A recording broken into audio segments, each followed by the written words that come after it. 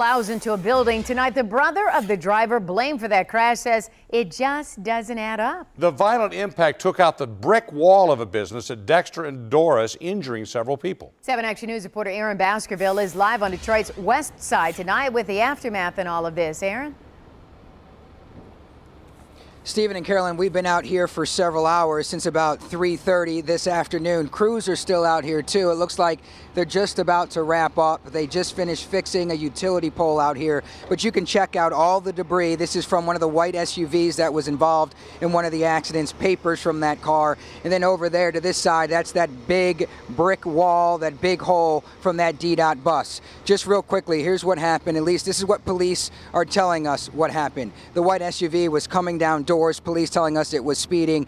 The DDOT bus was coming this way on Dexter. They both collided. And then that big hole over there is from the bus going through there.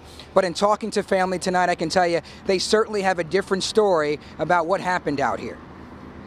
Ain't nowhere in the world that bus was going 30 miles an hour, which is Dexter's speed limit to hit that car, end up inside of a brick building. You had to be going like 60, bro, because even if you would have hit the car, he had plenty of time to stop. You slid all the way over there. Julius Davis is angry after hearing investigators say his little brother was speeding and caused this accident.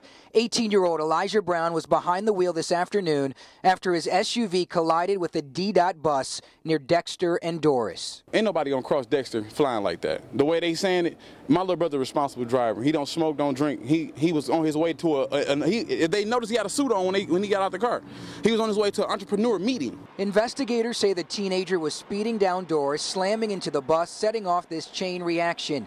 The bus went careening through a brick wall, the garage area of Sun Valley Foods. Five were inside the bus, including the 60 year old driver who was rushed to the hospital. Workers could not believe what they had seen. I saw the bus go by really fast going down the sidewalk, and I screamed, you know, the, the bus, the bus is running out on, on the sidewalk. Brown has a collapsed lung and some other cuts and bruises. Thankfully, no one inside the receiving area of the garage was injured when that bus came flying in. Ain't nowhere in the world he, he ran that stop sign. It's, I don't believe it. It's impossible.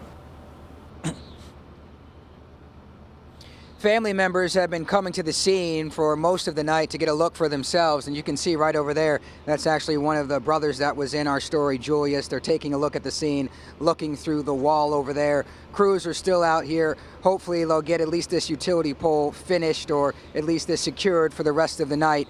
And uh, still this investigation continues. Carolyn? Pretty shocking. No one was killed in all of that. So, Aaron, what about the other people who were injured in all of this? How are they doing tonight? Yeah, we know that five people were injured in total. Three others were injured on that bus. We know a 60 year old man was injured, a 65 year old man was injured on the bus. Also, we're told a 45 year old woman who was apparently wheelchair bound was on the bus. But thankfully, they suffered non life threatening injuries. As for Elijah Brown, like we told you earlier, he does have a collapsed lung, he has some bruised ribs some cuts and bruises, possibly some glass in the eye and the face, but his brother says he's going to be okay. And like you said, Carolyn, certainly a miracle that nobody lost their life in this situation. Right about that. Thank you so much, Aaron, for the updates all day long for us. We appreciate it. Stephen?